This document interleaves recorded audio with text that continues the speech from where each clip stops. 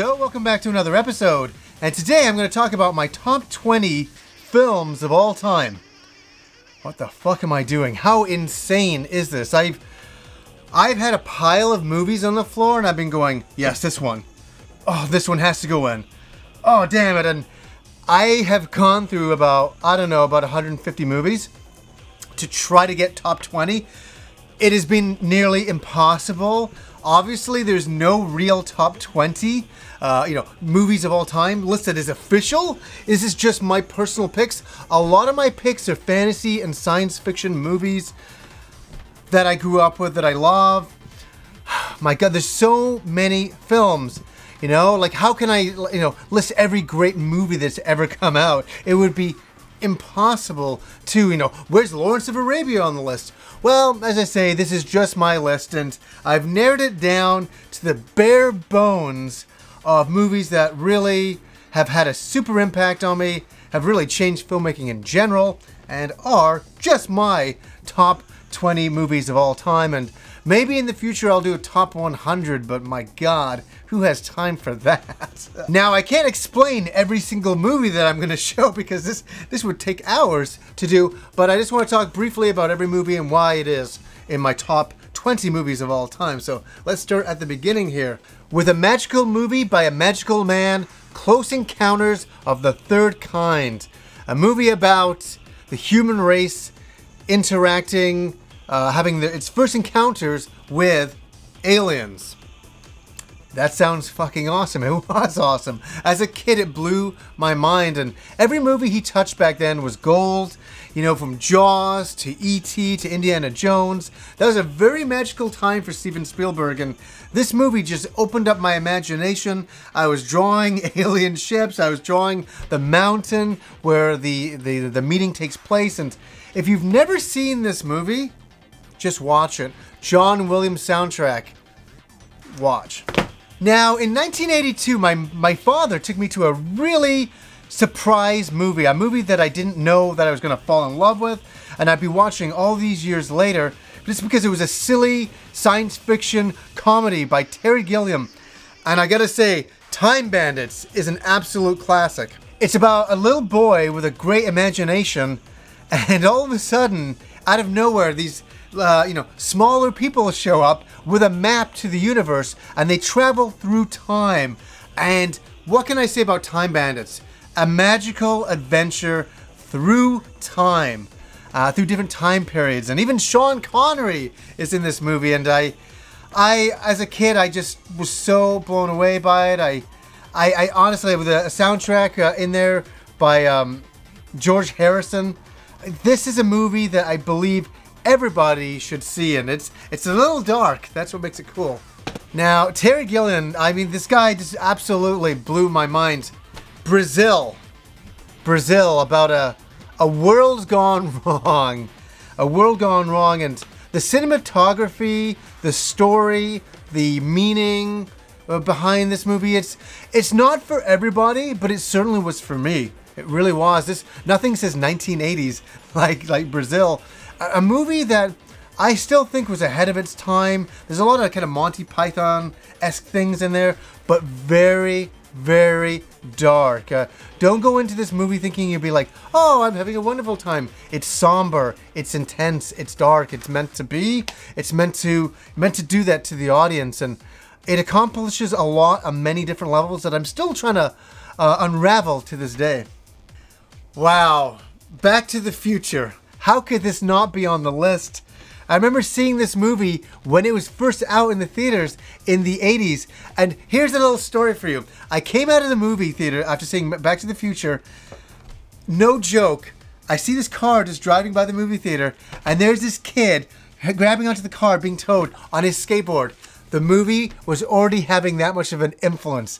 That is serious. I can't believe that happened. It's so wonderful to think back and what a testament of the times of a, of a wonderful movie changing culture. I Back to the Future has influenced so many uh, of us. It's, it's, it's, it has such an imagination to it of time travel and it's a great comedy adventure film with a lot of heart and I can't recommend Back to the Future enough. I, the other two movies are okay, but the first one is the one that I love the most. Now, in 1984, I saw this movie. uh, God, it must have been about. I saw it four times in the theater, and that was Ghostbusters. I went into the theater as a little kid, and I was like, "Wow." I all I, all I ever wanted to be after that was a Ghostbuster. That's all I wanted to be. I I wanted to. And back in the '80s, you couldn't you couldn't buy any real merchandise. You couldn't. Isn't that so ridiculous how things have changed now? You just you can buy merchandise before the movie comes out. But I came out of that movie uh, and I wanted to have you know a proton pack, uh, you know one of the ghost catcher uh, devices. I you know I just wanted the whole outfit, everything. I wanted to be a Ghostbuster. I this is a really funny, brilliant movie that sometimes it's funny during the filmmaking process when a movie comes together right. It's just perfect. I mean, it was almost meant to be a classic. You see every cut, every shot, every piece of music, every the way it all comes together. This doesn't happen too often. We all know that. And Ghostbusters, uh, a real big recommendation there. Apocalypse Now, a movie by Francis Ford Coppola. A very interesting look into the Vietnam War.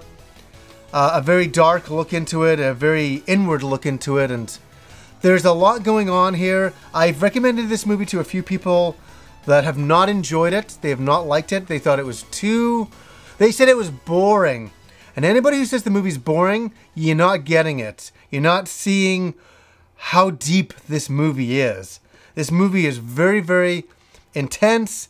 Uh, Marlon Brando's performance of Kurtz is worth the film alone. He was a real pain in the ass in the production of this movie. I could go on about this movie. I, uh, Heart of Darkness, the the documentary on this movie, is also a high recommendation. It, that that alone, it, even if you don't watch the movie, watch Hearts of Darkness. It's such an incredible documentary on the making of this movie, which is even bigger than this movie. It's it's ridiculous. Uh, cinematography wise, I mean, this movie was in production for so long, so over budget, and so goddamn worth it.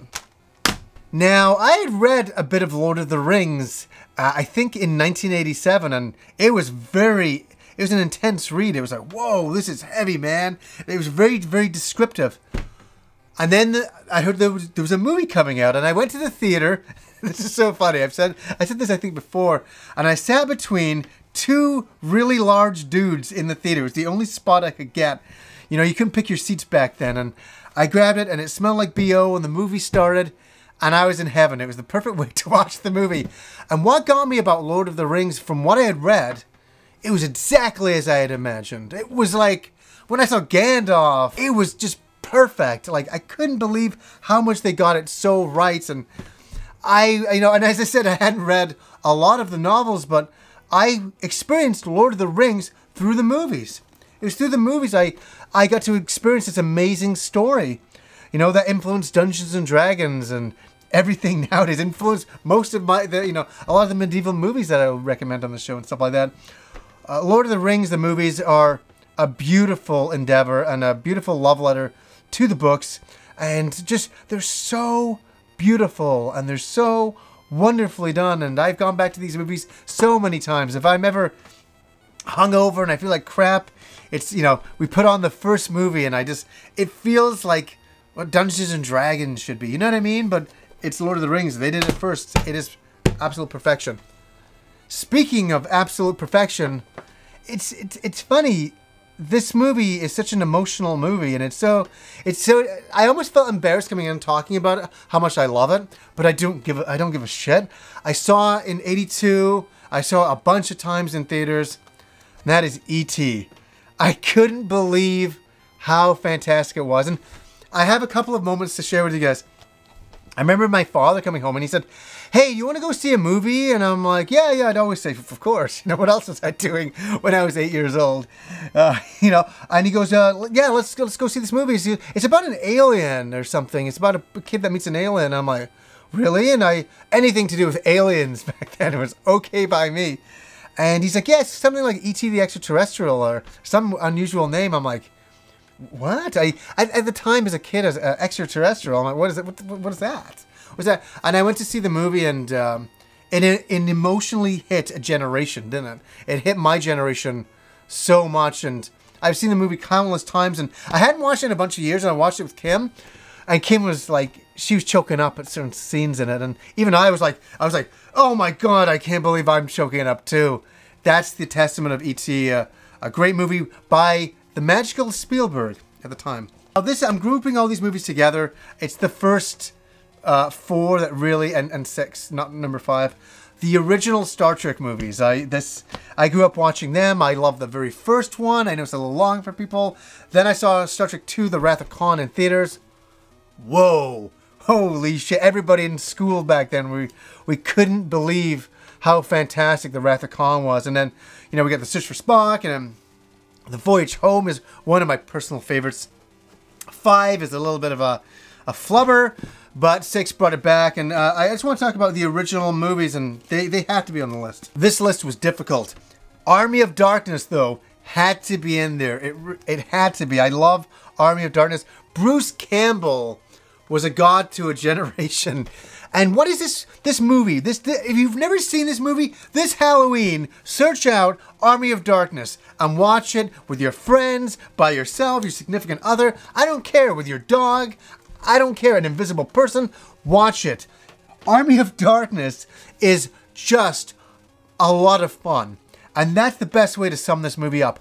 It's a lot of fun. It's comedy. It's it's a, a little bit of horror in there, a tiny small amount of, you know, but it, it's just good fun. And Bruce Campbell's character is, I'm not going to ruin the movie for you. Please, just go and see it. It's it's a good time from beginning to end, and I'm putting it over here. It's one I'm going to watch on Halloween again.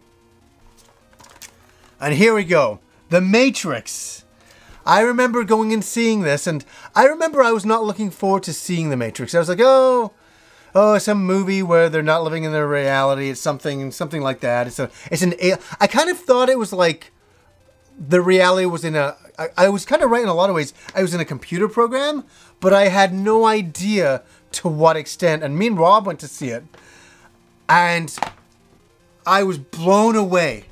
I hadn't been that blown away in, in years. And me and Rob walked out of the movie, and we're, atta- we're kung fuing each other, attacking each other.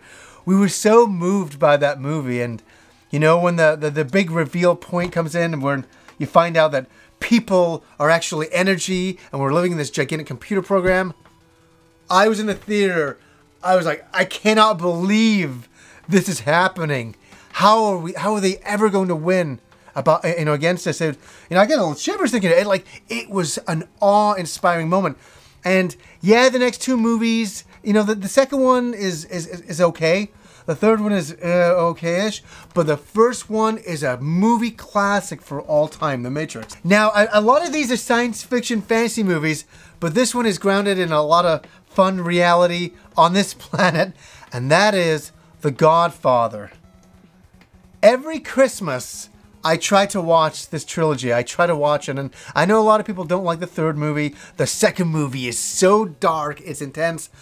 If you if you need to just pick one, just watch the first movie. Just watch the first movie on its own like that. And a great, a great thing about The Godfather, about gangs back in you know the the olden days of of America and oh boy, there's so much to talk about. Marlon Brando in here, and you know Al Pacino, the acting performances. It's I could spend hours talking about The Godfather, about how deep it is, and how much meaning is there, and how well it was shot, how well it was done, and Francis Ford Coppola. He got to make Apocalypse Now, The Godfather. Watch it, love it, endure it uh, you know, appreciate it for all time. Show your kids, show anybody. Now, the next couple of movies are, I, I love the sequels as well. And that is, first of all, The Terminator. I saw this in the movie theater. I was so stoked. And it was, I remember the funny thing, it was a little theater. When it first opened, it was a theater just by where I lived uh, when I grew up in North Delta in Vancouver here and we, me and my dad went to see. My, me and my dad had a relationship of watching movies. He'd always take me to the movie theater and we watched everything. And I was watching movies that I shouldn't have been watching a lot of times. I was a younger guy, but there wasn't the stigma that there is now. Like, oh no, you can't see that movie. My dad just threw me into everything, and I it made me the person that I am today. Uh, you know, for sure. But I we watched Terminator, and it it was fucking so awesome, man. I mean, the robot that didn't stop till it got its target, the robot from the future, and you know with Reese and you know, you know, try up you know, John Connor. Oh my God, the, the I could go into hours. That's a problem with this. I, I start talking about a movie and I love it so much that I want to get into such detail. It was, it's such a wonderful story by James Cameron, which, you know, if a lot of people don't know that James Cameron supposedly stole this story from somebody else. Yeah, like, and he, he claimed it as on his own, but you know what? Who gives a shit? This was a great movie, and then Terminator 2 was a what like Terminator 2 was almost better than Terminator 1. Now you don't get many sequels like that, and only when James Cameron was in his you know his magic days back then. And you know obviously there's more Terminator movies after that, but for me it will always be Terminator 1 and 2. Great classic films. Speaking of great classic films, Arnold Schwarzenegger again. Conan the Barbarian. A movie I saw in the very early 80s I must have been eight years old when I saw Conan. I still have, I've watched this movie like a hundred times. It was always on television. It was always on like a Saturday afternoon. I'd be like, oh, fine, I'll watch Conan again. God damn it. My life is terrible. Conan is a wonderful film of revenge. That's all it's about is revenge. I, if you've never seen it, just fucking watch it. Trust me. I'm, these are my recommendations. I should just say, watch it. I, I, I hope I've gained enough trust with you guys over the years. Oh, Conan the Destroyer is fun as well, in a much more funnier Dungeons and Dragons comedy adventure way. Now, how could Indiana Jones not be on there? Again, 1982, my father comes home and says, Hey, there's this movie called Raiders of the Lost Ark or something. Like, I'm thinking about going seeing it with your uncle. Do you want to come and see it? And I'm like, yeah, okay. And this was a movie that me and my father walked out of, and I I'll never forget it. My my this is so unusual for my dad. This was very unusual. We walked out of the movie after seeing it. We were blown away. But my this is what my father was repeating over and over and over again. He just kept saying, "Holy shit, that was a good movie holy crap, that was a good movie. And he said it like 10 times on the way to the car. He was so blown away. We all were. We all were so blown away by that first movie. And, you know, Temple of Doom came out and The Last Crusade came out. Those are the only movies I want to, want to remember. But that first movie with the Ark of the Covenant, I, I've seen it in theaters a couple of times since. You know, uh, I, I, took him to go and see it. It was showing in theaters down the road from us a couple of years ago. We went to see it, and it holds up so well. I mean, to think that Tom Selleck was going to play freaking Indiana Jones, that's insane. I can't imagine anybody but but uh, Harrison Ford as that role. Oh, Indiana Jones is one of the best films. Oh, ah, it's so good. It's jumping out at out out of the case at you. Alien. Alien 1, Alien 2, and uh, yeah, that's about it for me. The first Alien was so creepy and so surreal. I saw it at a sleepover uh, back in the early 80s, and I was like, oh my god, it was so terrifying. Back then, I saw so many terrifying movies. they gave me nightmares, but I liked having nightmares. They're good for you, I swear. And then I saw, you know, years later, the sequel, which was Aliens, and what a wonderful film. It's you know the first one is about an alien. The second movie is about aliens. Uh, a, a few more, but what a great world setting Ridley Scott created. I mean, that first movie, and you know, it's unfortunate. Like you know, Prometheus came out, and it's got its flaws it always kind of upsets me that the space jockey has kind of been ruined for me in the first movie. Every time I see it now, I think of that big white, you know, marshmallow man walking around. I'm like, oh no. But I still try to, you know, enjoy watching the first Alien movie and pretending that that didn't happen. That this was just something so surreal. And I think that's what I'm trying to say here is that the first, you know, Alien movie was so creepy and so surreal that, you know, that the alien ship was I know it sounds so stereotypical. Alien. We didn't understand it. We never would. That's part of the mystery of the first movie. Uh, was that with the space jockey was the mystery. What is this ship? What is the cargo? What is this about? It made it almost more cooler that there was no explanation for it. And I, I hate that sometimes in modern movies where we feel we have to explain everything. I think let's have some mystery and uh, and still, you know, and, and you know, James Cameron did an amazing job on Aliens. Great stuff. Here we go. Star Wars. Now, as you know, my favorite Star Wars movies are 4, 5, and 6, and now 7. They changed my life.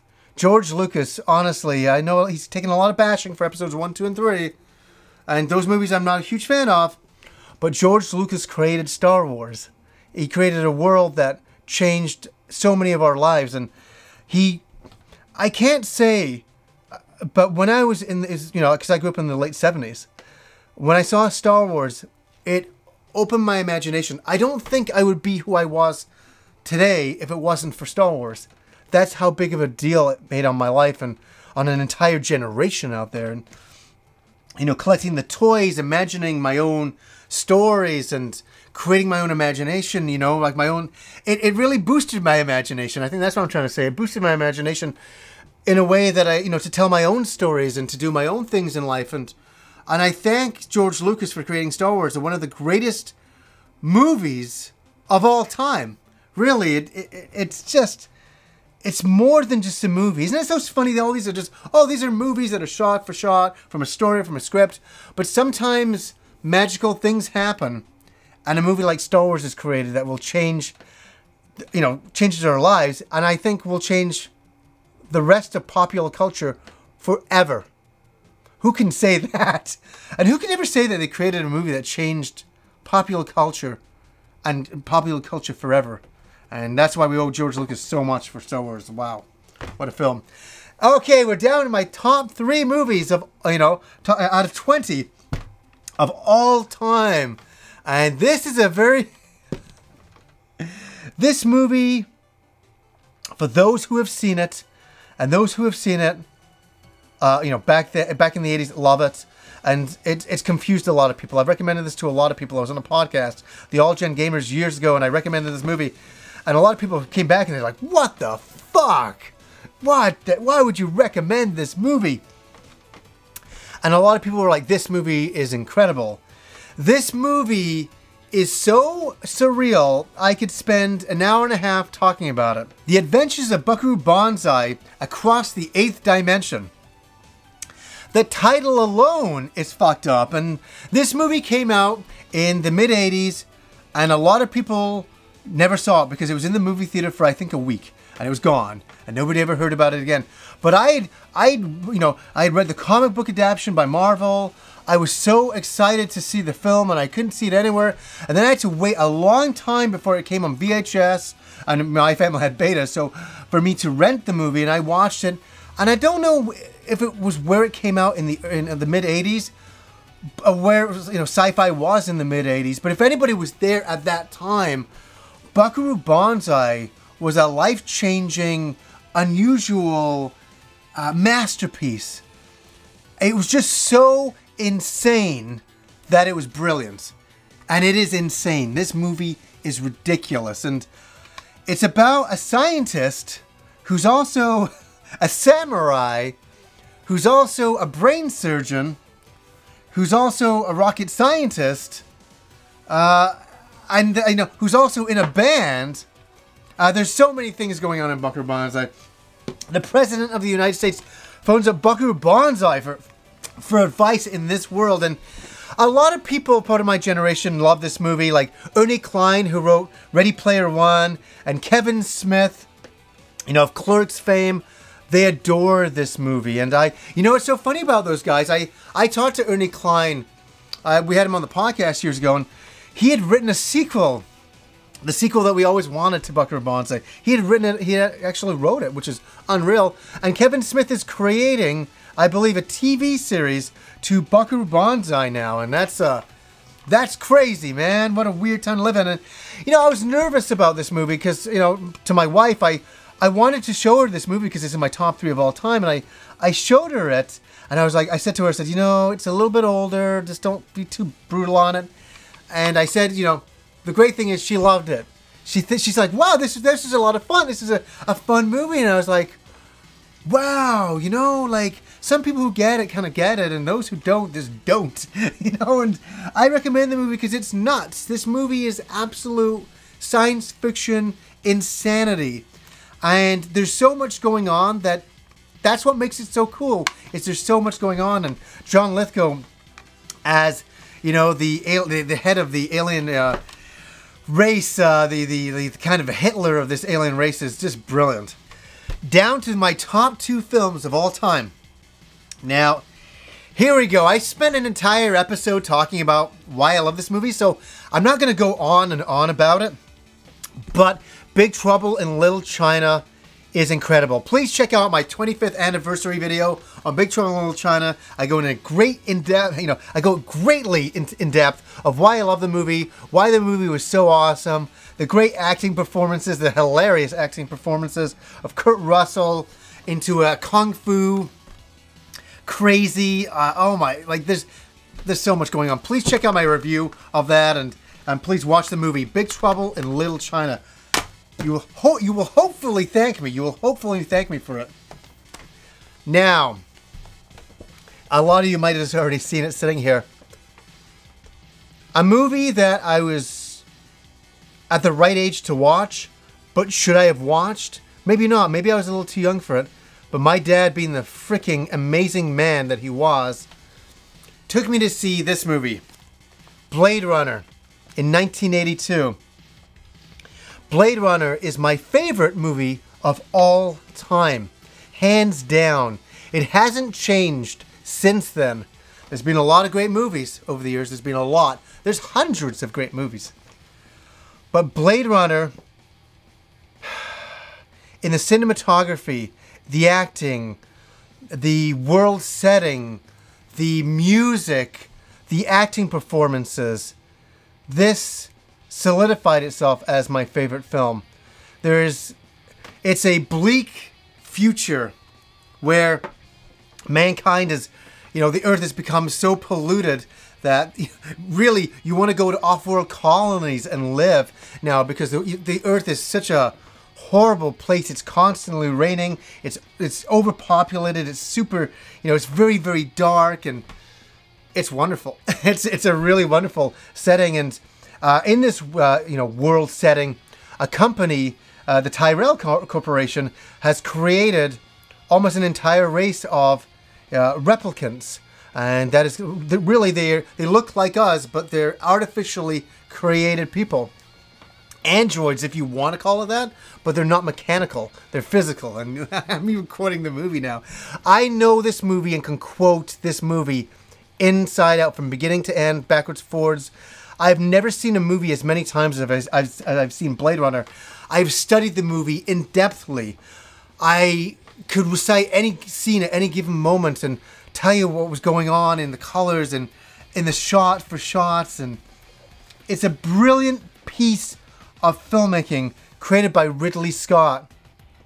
And I have never ever been more taken back by a film than I was Blade Runner. Then to now it changed my life, honestly. And you know, one scene that I remember was when Roy Batty was squishing in Tyrell's eyes in the movie. Yeah, that scene, the eye, the classic squishing in the eyeball scene. It was so horrific. As an eight-year-old boy, I remember sitting there going, "Oh!" It was like I, I remember just being like, I didn't even speak. I was like, I, it was so disturbing. But you know what? I gotta say about seeing some horrific scenes and mature content in movies and all that. It, I, I say saying it again. It made me who I am today. You know, I I, I recommend. You know, I, I it worked for me. Maybe it was that my parents didn't really know how horrific some of these movies were going to be, or how much uh, adult content was in them. And to be absolutely honest, I don't really think my my parents really cared. I don't think they really said, "Oh, it's a movie."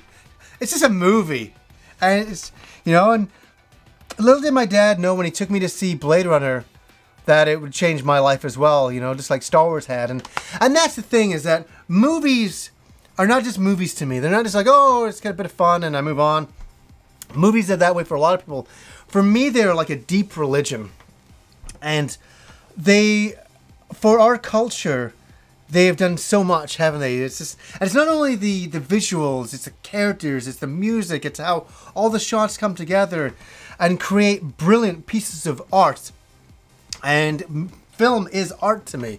It really is, and it is a crying shame that I could only pick 20 today because there is thousands of movies that I've seen that I absolutely adore. And guys, I just wanted to come in and share some of my favorites uh, uh, you know, favorite 20 movies of all time. It was a hard list to come up with. There's a lot of other movies I wanted to include. I should have just come up with a, a video saying all the movies I wanted to have in my top 20 movies of all time because it was that tough for me. So anyways, guys, until next time.